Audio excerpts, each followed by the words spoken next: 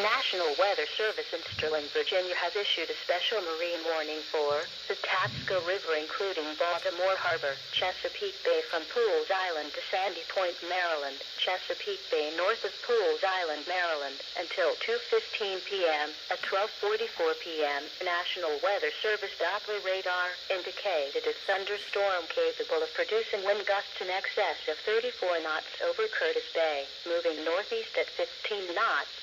This thunderstorm will be near Baltimore Inner Harbor, Middle River, Bush River. Wind gusts of at least 34 knots. Locally high waves and dangerous lightning can be expected. Boaters should seek safe harbor immediately until the storm passes. Report to the Coast Guard or nearest law enforcement agency. They will relay your report to the National Weather Service.